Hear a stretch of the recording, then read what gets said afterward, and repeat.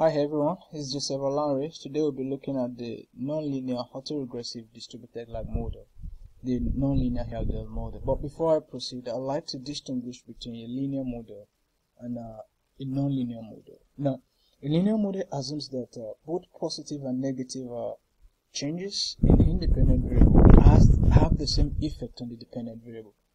I mean, uh, let's assume that uh, a 5 naira increase in income uh, uh, leads to 3 naira increase in consumption. Now, a linear model assumes that uh, a 5 naira decrease in uh, income would lead to 3 naira decrease in consumption. Okay. But for a nonlinear model, it assumes that uh, the effect of the positive and negative uh, changes in the independent variable uh, are exert different effect on the dependent variable. Okay. I mean, uh, let's take the example we, we looked at at first. Uh, for nonlinear, if there's a 5 naira increase in income, it leads to 3 naira increase in consumption. Now, a 5 naira decrease in income uh, would not lead to 3 naira decrease in consumption. It might be more than 3 naira decrease in consumption, it might be less. So that's the essence of nonlinear model, that uh, it isolates the positive and uh, negative changes in, a, in the in independent variable, the effect on the dependent variable. Now we go to the estimation proper. But I must tell you that uh, nonlinear ARDL model estimator is not an inbuilt estimation uh, estimator in in EViews. So you need to download it, and you get it from you download it by going through Add-in, and then you come and click on uh, download Add-in.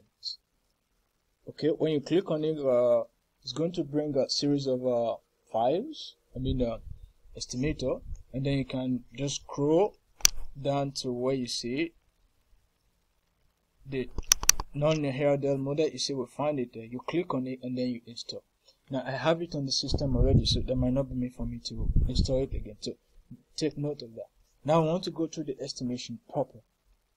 Uh, now, for you to estimate a nonlinear model, then you have to establish a baseline ARDL model.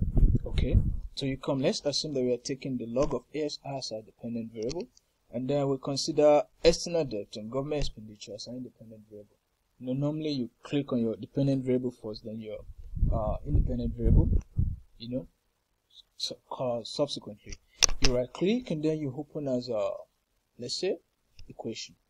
When you open as equation, you come to the box here and come and click on ARDL, autoregressive distributed model. Okay? Let's assume we hold all things constant, you click on OK.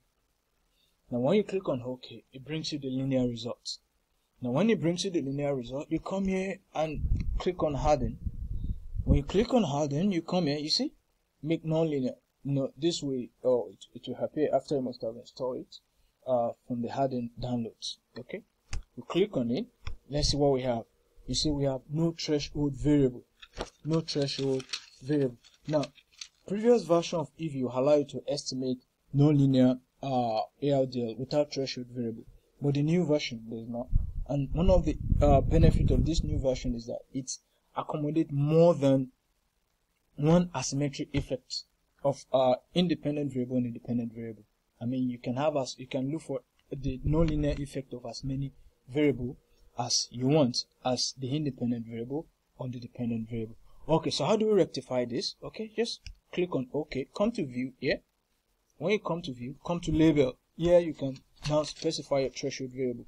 Here you type R A S Y, okay, V A R, okay, V R S. That is our asymmetric variables, asymmetric variables, and then you come here and list the variable you want to look at the nonlinear effect.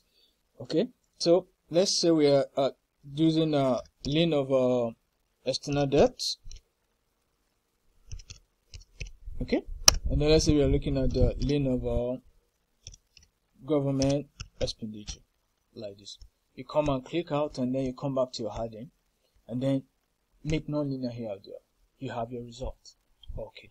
Now this result is split the effect of positive and negative changes in uh, independent variable on the dependent variable. You see, this positive change effect of positive changes in external debt on uh, ASI share index. And this is the effect of negative uh, uh, changes in uh, external debt on um, uh, share index. You have the same for uh, government expenditure. You see, positive, negative. Okay. Now you can come in. You can look look for the uh. You can come back here and look for the short run and long run um, nonlinear relationship. Okay. Just come to coefficient diagnostics.